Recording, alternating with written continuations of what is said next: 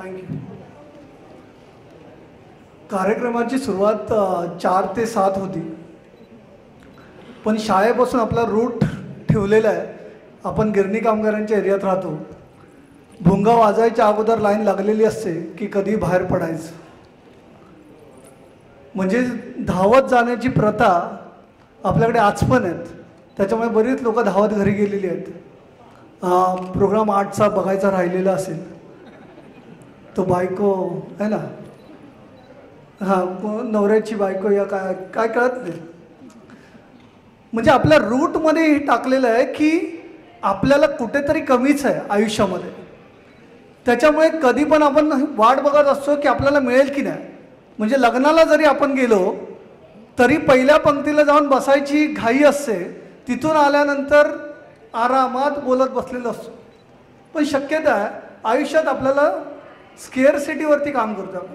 म्हणजे आपल्या लहानपणापासून सांगितलं आपल्याला मिळणार नाही पहिलं आपल्याला करायला पाहिजे.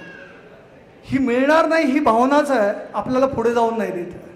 म्हणजे जगात पहिला माइंडसेट करायला पाहिजे आपल्याला. आयुष्यात जर आपल्याला पुढे जायचं असेल तर पहिलं ठरवायला पाहिजे की आपण दुसऱ्याला काय देऊ शकतो. जेव्हा दुसऱ्याला काहीतरी देण्याची जर भावना असेल तर आपण मिळून मोठा हिस्ट्री क्रिएट करू शकतो. कारण बऱ्याच वेळापूर्वी सांगितलं सुरुवात जर झाली असेल तर गणपतीच्या ह्यांनी सुरुवात झालेली होती. किती लोकांना इथे श्रीमंत बनायचं आहे नक्कीच बी एस सीमध्ये आलात. किती लोकांना कमीत कमी शंभर करोड कमवायचे क्या बात कमवायचे कमवायचेत तर फक्त हात वरती आहेत. कसे कमवायचेत? पण कमवायचे हे सर्वात महत्त्वाचं जिथे मंदिर आहे मस्जिद आहे गुरुद्वारा आहे तिथे पैसा आहे आणि जिथे लालबागचा राजा आहे तिथे भरपूर पैसा आहे. येस और नो म्हणजे पहिलं आपल्याला काय करावं लागेल? गणित मांडावं लागेल. जिथे मंदिर आहे मस्जिद आहे गुरुद्वारा आहे तिथे पैसे आहेत. म्हणजे आपल्याला पहिलं सुरुवात गणपतीने केली.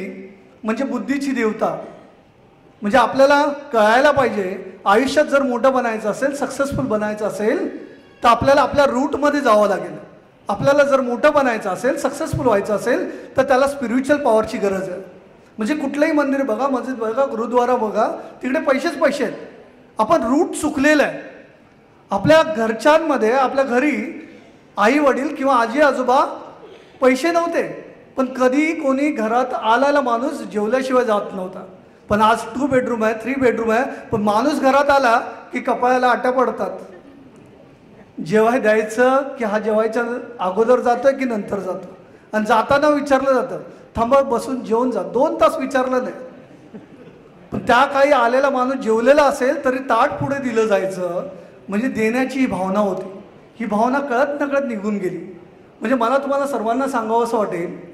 मी ब तेवीस वर्ष गेले अभ्यास केला तेव्हा मला कळलं जर आपल्याला मोठं व्हायचं असेल सक्सेसफुल व्हायचं असेल तर आपल्याला रूटवरती म्हणजे स्पिरिच्युअल पॉवरवरती काम करायला लागेल. आणि जिथे साईबाबा फकीर होते. पण साईबाबा शिर्डी संस्थान मोठं आहे. सिद्धिविनायक मंदिर सर्वात मोठं आहे फायनान्शियली जर आपल्याला फायनान्शियली साऊंड व्हायचं असेल तर आपल्या हृदयामध्ये जे अंतर्मन आहे त्याचा आवाज ऐकायला लागतं. तो आवाज बऱ्याच वेळेला आपण ऐकत नाही. जगात जेवढी माणसं श्रीमंत झालेत ती लोक सांगतात की मला एकदा कळत नकळत एक अशी अशी आयडिया आली आणि त्याच्यामुळे मी श्रीमंत झालो. पण ती आयडिया यायला अंतर्मनात झाकायला लागतं वेळ द्यायला लागतो. तो वेळ आपण देत नाही. आणि तो वेळ जर आपण दिला सक्सेसफुल माणसं ना कधीतरी आवाज आलेला होता. आणि अनसक्सेसफुल लोकांचा प्रॉब्लेम हा झाला कारण त्यांनी बुद्धीने विचार केला जी लोक वेल एज्युकेटेड आहेत ती लोक सक्सेसफुल न होण्यामागची राज रिझनच आहे सर्वांनी मगाशी सांगितलं की कारण लागतं त्याला. कशाला उगीच? कशाला उगीच आपण हे करायचं?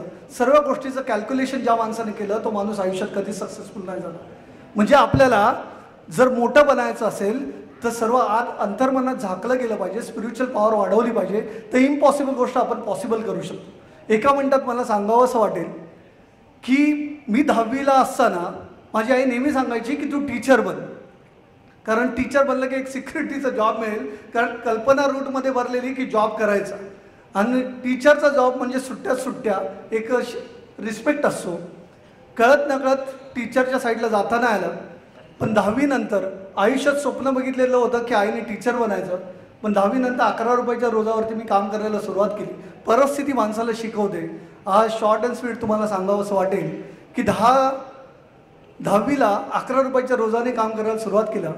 पण आज मी जर एका ट्रेनिंगला कुठे गेलो तर दिवसाला दहा लाख रुपये घेतो.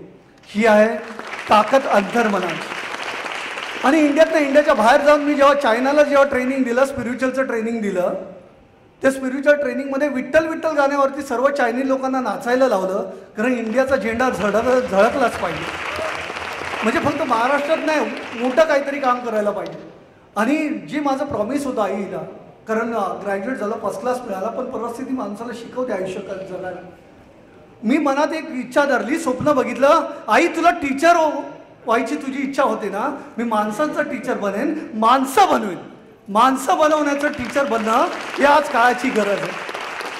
आणि तिची जी इच्छा होती की शाळेचं टीचर बनायचं मला तुम्हाला सांगायला आवडेल की आईच्या नावानेच आईच्या नावानेच गेल्या वर्षी सात जूनला मी विनर्स गुरुकुली शाळा सुरू केली माणुसकी घडवण्याची.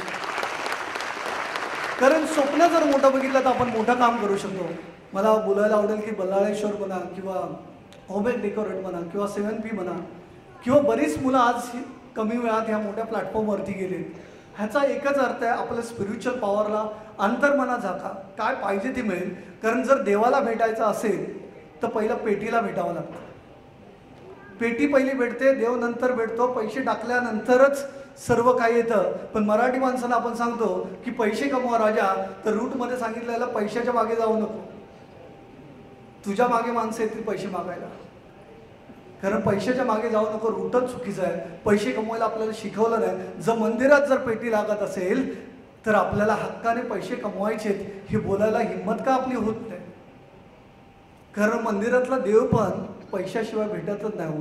तो पुजारी असतो ना त्याला पण पगार नाही दिला ना तरी तो नाही भेटणार. मराठी माणसाला एक कळलं पाहिजे की आपल्याला मोठं बनायचं सक्सेसफुल बनायचं असेल तर आपल्याला टीम उभी करायला पाहिजे.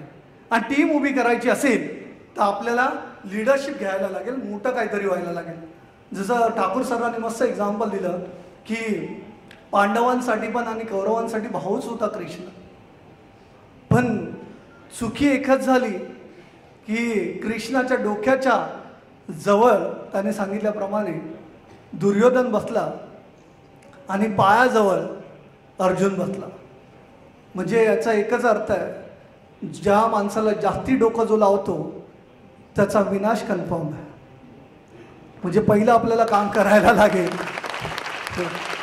माइंड सोल म्हणजे हार्ट आणि नेवल त्याला आपण बोलतो तीन. तीन अलाइनमेंट असणं जगात महत्त्वाचं आहे. सिंपल मला लास्ट सांगताना जावं लागेल.